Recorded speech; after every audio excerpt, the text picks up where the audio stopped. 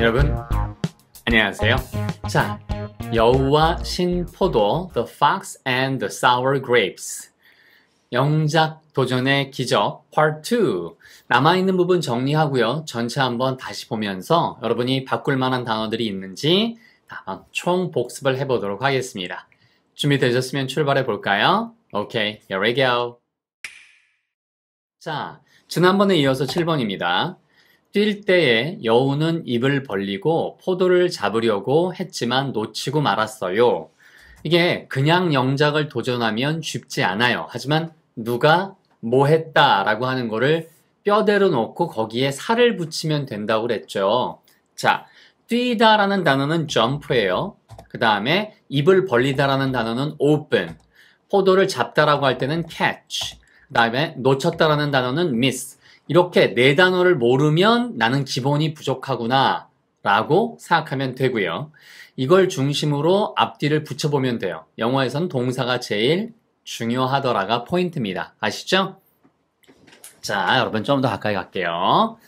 그래서 뛸 때에, 뭐뭐 할 때에, 그러면 늘 말씀드리지만 when을 써도 되고요. 이야기에서 제일 많이 쓰이는 것은 as라고 말씀을 드렸죠. 뭐뭐 할 때에 as 그 다음에 the fox jumped 그렇죠? 뛸 때에 이렇게 쓰시면 되는 거예요. 그 다음에 이렇게 앞에 when이나 as처럼 연결해주는 서로 접속을 시켜주는 어구가 있으면 그렇죠? 이 접속을 시켜주는 어구가 어디서 끝날 거야 라는 걸 보여주는 이런 식으로 커마 다시 말하면 쉼표를 쓰시면 되는 거예요. 그래서 when the fox jumped 그렇게 누가 그렇죠. 예. 이거를 사실은 원문을 보시면 여러분이 he라고 나올 거예요. he라고 써도 되고 it를 써도 되고 지난번에 설명드린 대로 뭐다? 예, she라고 써도 돼요.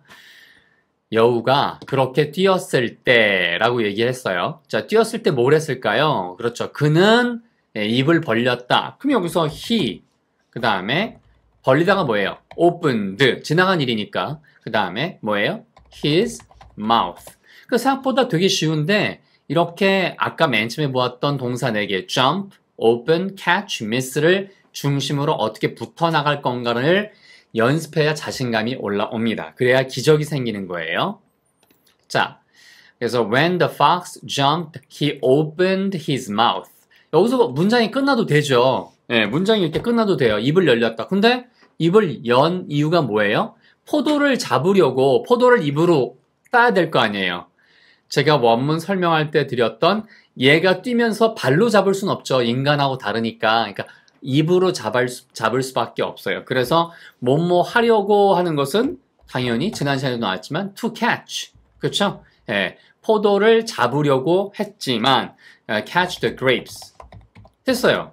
여기까지. 그러면 to catch도 중요한 거죠. 이런 식으로. 그래서 뭐가 왜 중요한지를 아는 게 진짜 중요한 거예요. 아, 그래서 jump, open, catch. 하지만 but이죠. but missed. 그렇죠.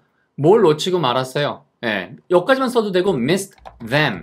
그 포도들을 놓치고 말았습니다.를 써도 상관없는 거예요. 그러니까 여러분이 어떤 방식으로 뭔가를 할 때에는요, 그 나머지 거는 다 중요하지 않습니다. 그러면 나는 여기에 지금 새로운 문장이니까 catch the grapes but miss them 이렇게 쓰셔도 상관없는 거예요. 그 다음에 이거 나는 them을 쓰고 싶지 않습니다. 그러면 missed까지만 쓰시면 예, 바로 놓쳤다라는 부분만 나오는 거죠. 그죠? 자, 그래서 됐고요. 다시 한번 읽어드릴게요.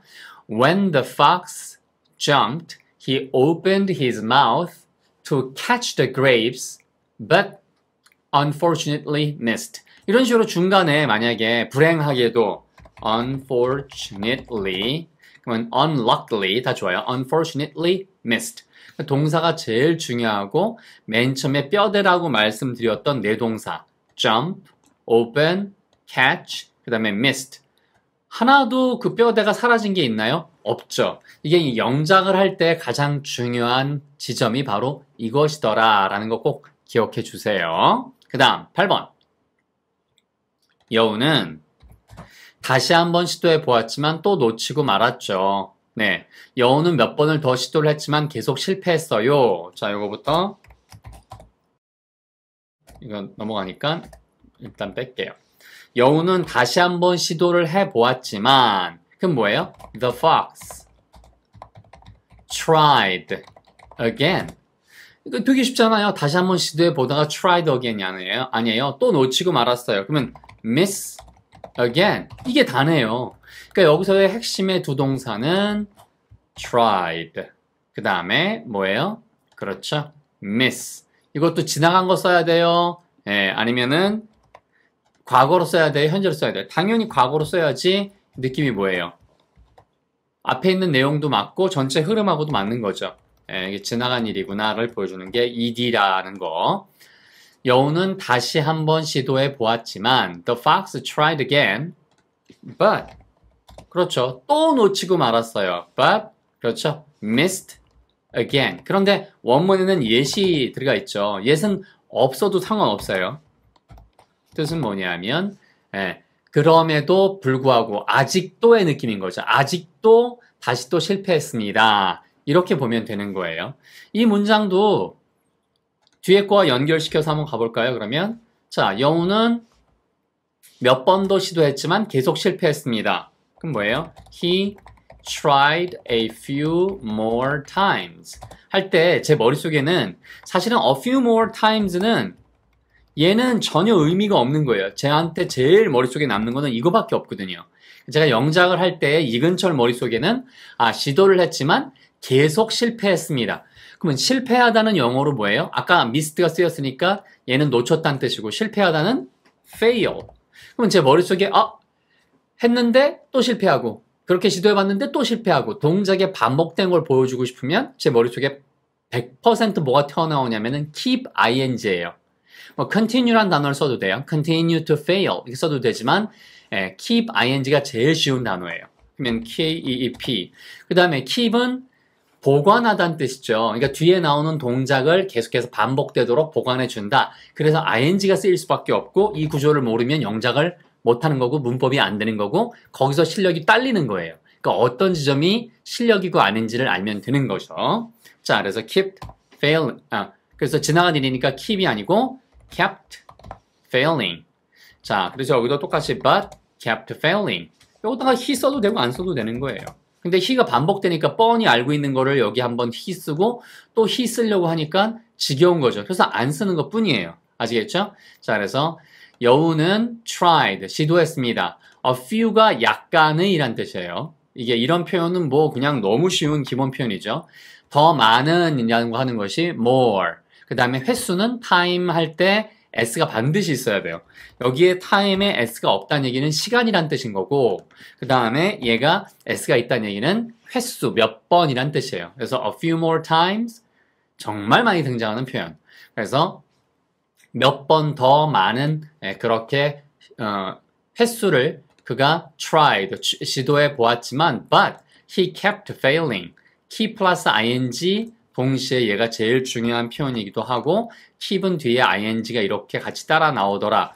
이걸 알아두는 게 실력의 밑바탕이라는 것도 정리를 해드렸습니다. 아시겠죠? But he kept failing. 됐죠 여러분? 좋습니다. 자 그러면 몇 번이었죠? 8번. 9번. 이제 마지막이에요. 9번. 결국에 그 여우는 포기하고 집으로 어, 갈 때에 결, 아, 집으로 갈 때라고 결정을 내렸죠. 자, 요거 한번 볼게요. 위로 올려서. 결국에는 우리가 앞에 배웠어요. finally 하는 거 있죠. 근데 쌤, 저는 finally 반복돼서 쓰기 싫습니다. 그러면은 at last. at last 할 때 그 노래도 있잖아요. 자, 그럼 우리는 at last로 가볼게요. 결국에 그 여우는 그러면 the fox죠. the fox 그렇죠? 포기하고 집에 갈 때라고 결정을 내렸습니다. 그러면 머릿속에 뭐가 있냐면 포기하다, give up, 집으로 가다, go home, 결정 내리다, decide. 이렇게 우리말에서는 뭐뭐뭐뭐뭐뭐 한다고 결정 내렸다. 그런데 우리말에서는 맨 끝에 오는 것은 영어에서는 결정 내렸습니다. 뭐 할 거라고 이런 식으로 쓰인다고 그랬죠. 네, 그러니까 얘가 앞에 와야 되는 거예요. 그래서 finally는 연결 형태고 the fox 결정을 내렸습니다. Decide를 모르시면 안 되는 거죠. 네. 근데 decide는요, 어, 집에 갈 때라고 라는 얘기죠. decide. 그러면 결정을 내렸습니다. 뭐뭐라고 결정을 내렸다라는 얘기죠. 무슨 때라고, 그죠? 예, 맞습니다. 그래서 it was time to 이렇게 걸려야 돼요. 물론 decided 하고 여기가 없어도 돼요. decided 지나간 거니까 decided 그렇죠? It was time to 할 때 이렇게 얘가 사이에 없어도 돼요. The fox decided to give up. 아, 그 여우는 결정했습니다. 뭘 결정한 거예요? 돌아갈 거라고 해서 동작을 바로 decide는 to밖에 쓰이지 않아요. to give up. 그렇죠? 그 다음에 and go home. 집에 갈 거라고 go. 이게 제일 중요한 거죠. 역시. 그러니까 동사는 다 똑같이 이렇게 연결이 돼요. 됐죠? 그런데 이때 it was time이 없으면 어떤 뜻이 되냐면 그렇게 어, 포기하기로 그리고 집에 가기로 결정을 했습니다. 마침내. 그러니까 때라는 어, 표현이 우리말에서 없는 거랑 똑같은 느낌인 거예요. 그래서 얘는 it was time이란 단어는 없어도 상관이 없어요. 그런데 그때 뭘 한다고요? it was time을 집어넣으면 그렇게 할 때라고 결정을 내렸습니다. 결심을 했습니다. 이런 뜻인 거죠. 자, 그래서 finally는 반드시 알아두셔야 되고요. 자, at last도 진짜 많이 쓰이는 표현이에요. 이런 게 같은 표현이 뭐가 있나를 알아두는 게 실력이고 혹시라도 내가 이걸 모르거나 익숙하지 않다면 와 영어 앞으로 영작할 그런 힘에 그렇죠 재료들을 많이 배워가고 있구나 뿌듯해 하시면 돼요. 자, at last 드디어 그 여우는 decided 결정했습니다. to give up 포기하기로 그 다음에 집에 가기로 결정했습니다. 이렇게 써도 되고 decided 그 다음에 대시 상략돼서 it was time 뭐뭐 할 때라고 그래서 대시 써도 되고 안 써도 돼요. it was time 어떤 시간이에요? 이 time도 결국에는 뭐예요? 뒤에 was time 뭐뭐 할 시간이었다. 그래서 뒤에 to가 나와야 되는 거예요. 그러니까 그래서 양쪽이 다 올리는 거죠. 포기하고 집에 갈 때라고 결정을 내렸습니다. 끝. 이게 다예요. 됐죠? Finally, 혹은 at last, the fox decided that it was time to give up and go home. 집으로 돌아간다, go back home. 이렇게 back 같은 단어 하나 써줘도 되는 거고요. 그게 영작의 재미입니다. 마지막 10번 여우는 걸어서 그 장소를 떠나는 동안 중얼거렸어요. 어쨌든 저 포도들은 분명히 쉴 거야. 자, 여우는 장소를 떠나는 동안 뭐뭐 하는 동안은 사실은 as, 그 다음에 when, 이런 단어들도 그 우리가 금방 썼죠. 그런데 이 as, when은 주로 뭐뭐 할 때라는 뜻으로 많이 쓰이고요. 자, 이런 식으로. 아, 여기가 아니구나. 자, 할 때라는 뜻은 많이 쓰이고, 뭐뭐 하는 동안은 while이 제일 많이 쓰여요. while. 뭐뭐 하는 동안, 아시겠죠? while the fox. 그 다음에 걸어, 걷다가 뭐예요? walk. 그 다음에 걸어서 떠나는 동안 그러면은 walk란 단어가 떠나다 leave. 중얼거렸다 mutter. 이 단어는 단어니까 몰라도 됩니다. 예, 포도들은 분명히 쉴 거야. 쉬다가 그러면 뭐예요? are sour. 왜? 포도들이니까. 이 정도만 써놓고 시작을 하는 거예요. 그러니까 영작에 여러분 스스로 할 수 있다는 게 그냥 제가 하는 걸 보면서 어, 다 외워야지. 이것도 나쁘지 않아요. 예, 왜? 외우는 것 자체도 진짜 어려우니까 그래서 댓글에 맨 처음에는 자신감도 없었고 가능할까 했지만 반복하다 보니 다섯 번, 열 번 지나고 난 다음에 듣기만 해도 이제 한글만 들어도 영어가 튀어나옵니다. 신기합니다. 기적입니다. 그래서 기적이 생기는 이유는 되게 뻔한 거예요. 나한테는 당연한 결과다. 지난번에 말씀드렸죠? 여우는 여우, 여우, 여우가 걸어서 그 장소를 떠나는 동안 여우 가라고 해도 좋아요. 여우가 걸어서 그 장소를 떠나는 동안 예, 중얼거렸어요.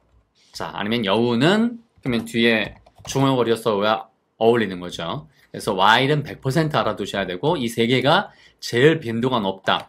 그러면 앞으로 나올 영작에 여러분이 재료를 지금 담아 가신 거예요. 그 다음에 걷다가 walk가 있고 어, 걸어서 떠나가는 동안 그러면 저는 leave를 쓰겠어요. 이거 차이를 말씀드릴게요. 무슨 말이냐면 우리말에서 어디를 가다라고 할 때 분명히 고를 되게 많이 쓰세요. 영작할 때. 그런데 장소에서 나가서 가다란 느낌이면 고보다는 live를 원어민들은 99% 씁니다. 그래서 사실 여기 live예요. 그리고 멀어지는 장면이 있는데 그 어, 멀어지는 장면은 away라고 써도 되고 여기서 walk를 써도 상관없습니다. live란 동사, 그러니까 둘 중에 하나만 쓰시면 돼요.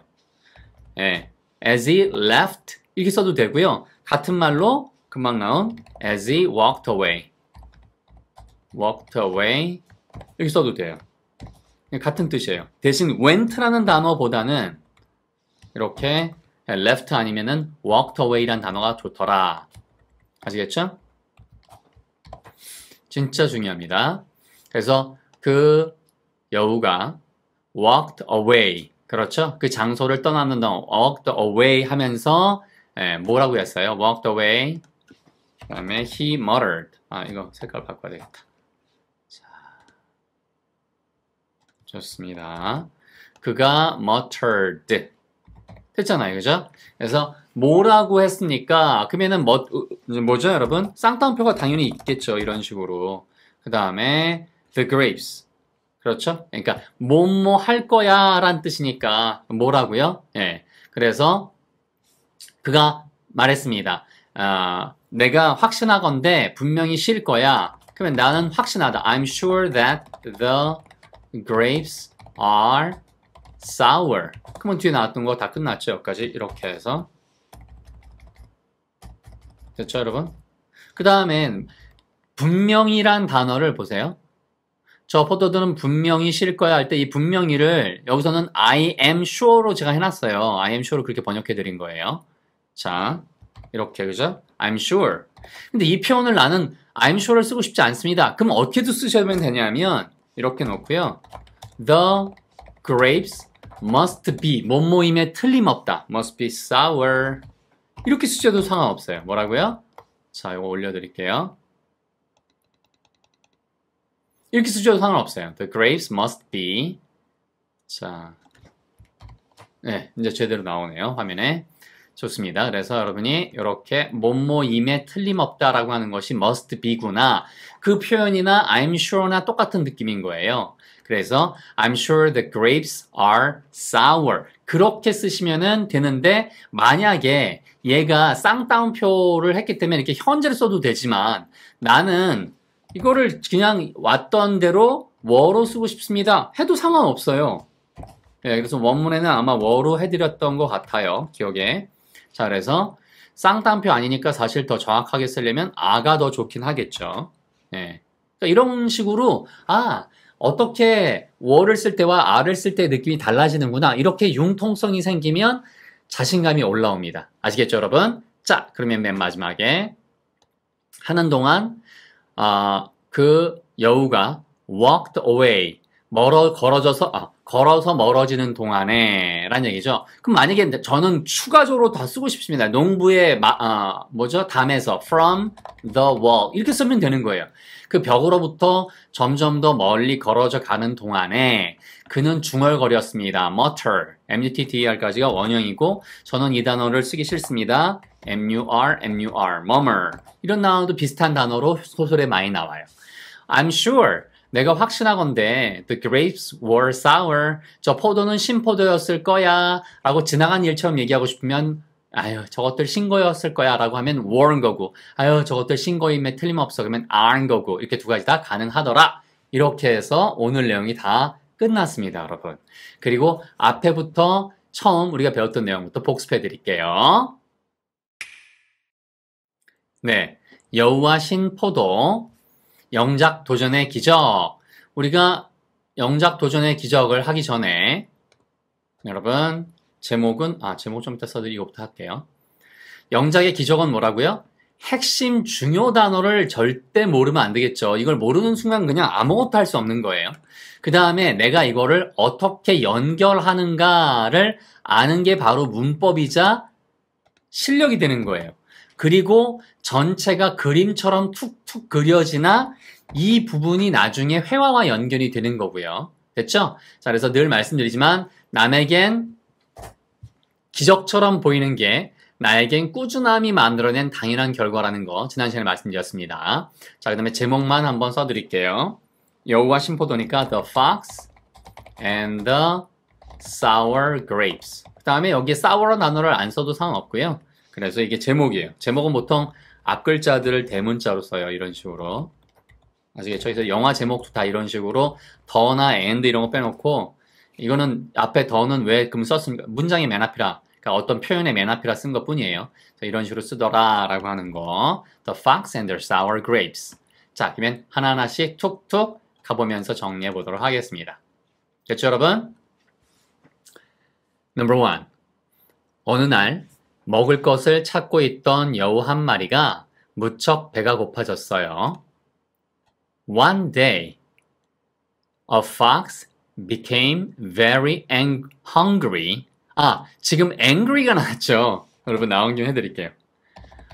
그 hungry 배고픈데 동시에 배고프면 화나잖아요. 예, 네, 그래서 angry. 근데 이 단어가 ngry는 똑같죠. 그래서 얘를 최근에 쓰는 단어 중에 hangry라는 표현이 있어요. I'm really hangry. 그러면은 이 표현을 알아듣는 원어민도 있고 제가 톡쇼에서 몇 번 쓰는 것도 봤거든요. 예, 들었거든요. 그래서 포인트가 얘가 hangry라고 썼을 때 원어민들이 웃는 경우도 되게 많아요. I'm really hangry. Hey, what is it? Hey, it's a combination of two words. Okay? It's a combination of hungry and angry. angry. 그렇게 길게 얘기하지 않아도 I'm hungry and angry. 이렇게 얘기하면은 I'm hangry. 이거라고 설명하시면 되겠습니다. 자, 갑자기 이런 것도 하나 생각이 나서 참고로 해드렸어요. 다시 해드릴게요. 어느 날 여우 한 마리가 되었습니다. 아주 배고프게. 뭐 할 때? as. 그것이 찾고 있는 동안에 어, 약간의 음식들을 찾고 있는 동안 무척 배가 고파졌습니다. One day, a fox became very hungry as it was looking for some food. 여기는 it도 되고 she도 되고 he도 되더라 라고 해서 이렇게 드리면 he까지 정리가 되는 거죠. 자, 좋습니다. 그래서 됐고요. 2번. 여우는 그 여우는 찾았습니다. 위건 아래건. 그래서 영어에선 다 여기저기 찾아보았지만 하지만 할 수 없었어요. 찾을 수 없었어요. 그 어떤 것도 그가 할 수 있는 먹을 수 있는 거 어떤 것도 찾을 수 없었습니다. The fox searched high and low but couldn't find anything that he could eat. 이때 high and low 대신에 everywhere 써도 됨. 마침내 여우의 배가 꼬르륵 하는 소리를 냈을 때, 마침내 뭐뭐 할 때 그의 위가 그렇게 꼬르륵 하는 소리를 냈을 때 그 여우는 우연히도 발견했습니다. 농부의 담을. Finally, as his stomach rumbled, the fox stumbled upon a farmer's wall. 해서 as가 제일 여기서 중요한 것 중에 하나고 rumble과 stumble 하는 표현들도 등장을 하니까 여기서 일부러 운율을 맞춘 거고요. 이게 stumble upon, 그거는 upon이 없어도 된다고 했죠. 그냥 on만 있어도 돼요. stumble upon, 우연히 발견하다. 분명히 이거 나중에 다른 소설을 읽을 때 얘가 나오면 아 근철쌤 말이 오라요. 이런 식으로 생각하시게 될 거예요. 이미 알고 계시다면 감사드리고요.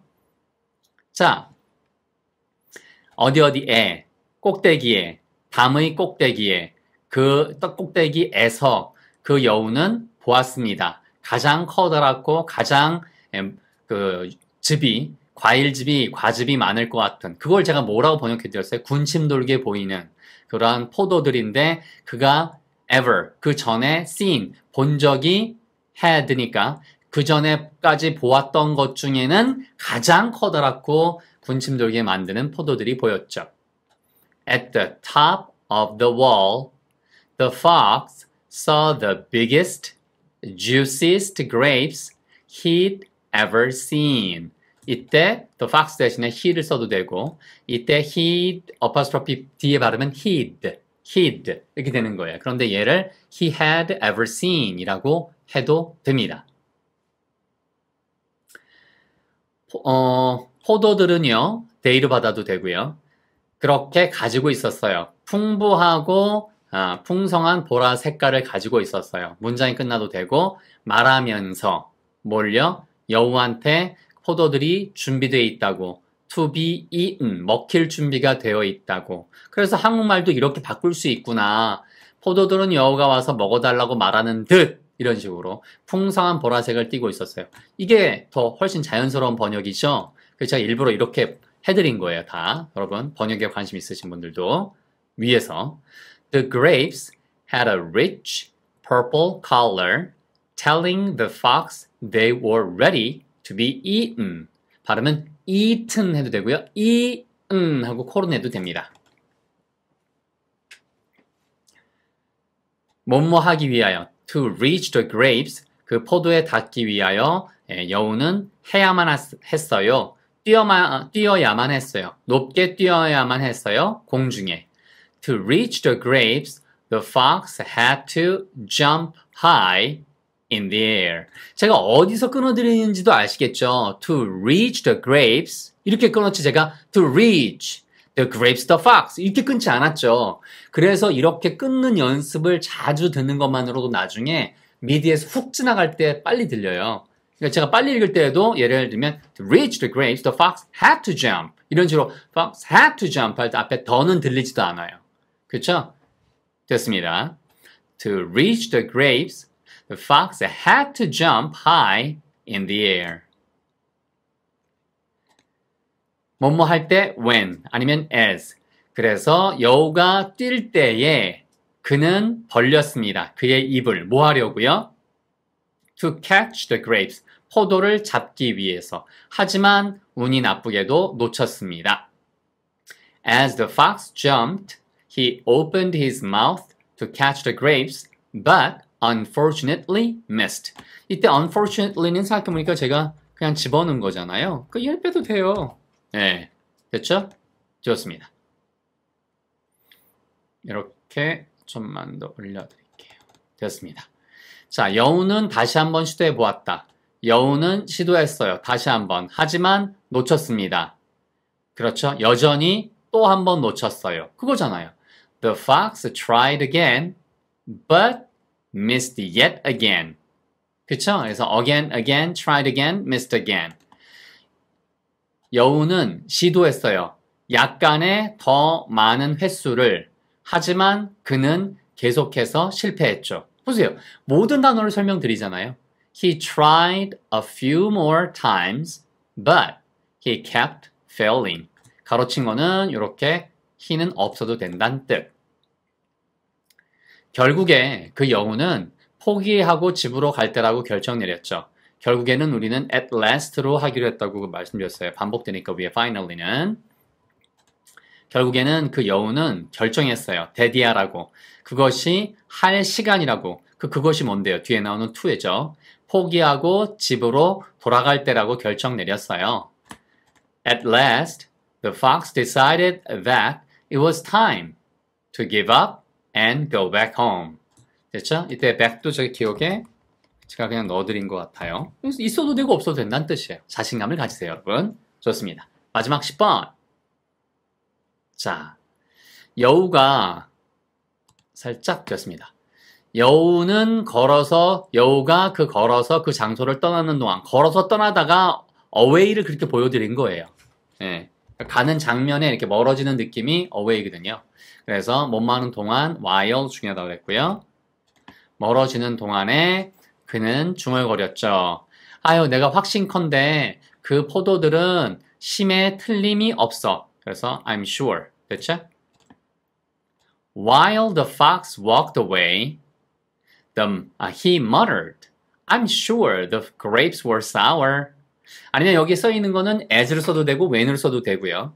The fox walked away. As the fox walked away, 그 담으로부터 해서 from the wall은 있어도 되고 없어도 되고 이거 제가 그냥 넣어드린 걸로 기억이 나네요.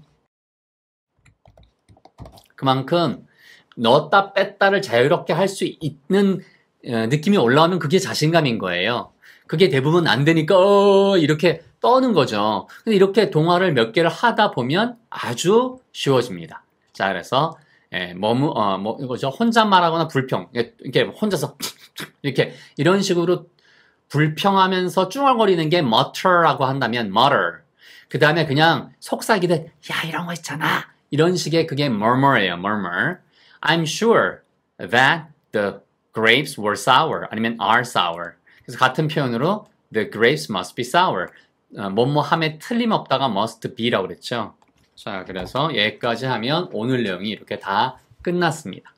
자, 여러분 수고 많으셨고요. 중요한 거는 얘를 반복해서 보실 때에도 제가 왜 시간을 들여서 무엇을 설명하고 넣었다 뺐다 하는 거에 대한 거를 강조했는지 그냥 공부라고 생각하시면 이게 힘들 수 있지만 아, 내가 실력이 올라가고 똑같은 내용을 가지고 이런 단어를 쓸 수도 있고 저런 단어를 쓸 수도 있구나. 그러면 그게 예, 동화 10개, 20개 혹은 100개를 더 읽어낼 수 있는 여러분의 자신감이 된다는 거 아시겠죠? 수고 많으셨고요. 주위에 추천 부탁드립니다. 자, 댓글에 어떻다라는 얘기도 남겨주시고요. 어떤 동화 보고 싶습니다. 예, 한번 원문으로 읽고 싶습니다. 예, 이런 것도 올려주셔도 좋습니다. 여러분, 다음 시간 뵐 때까지 건강 잘 챙기세요. I'll be back with another story. 다른 이야기로 찾아뵙도록 하겠습니다. Take good care. Bye.